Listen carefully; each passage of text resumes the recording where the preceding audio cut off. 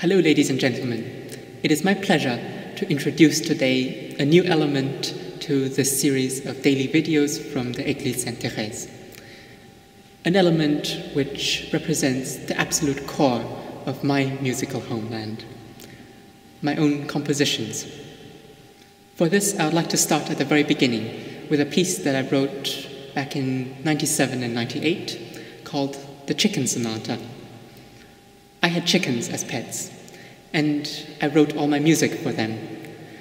The thing about my chicken music is that I did not write from the perspective of my being human and their being chickens.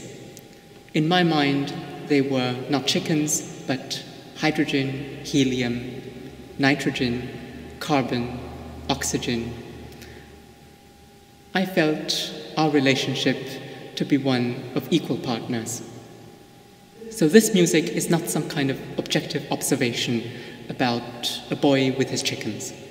Rather, it is a set of snapshots of my life as I felt it, to which I devoted all my emotion.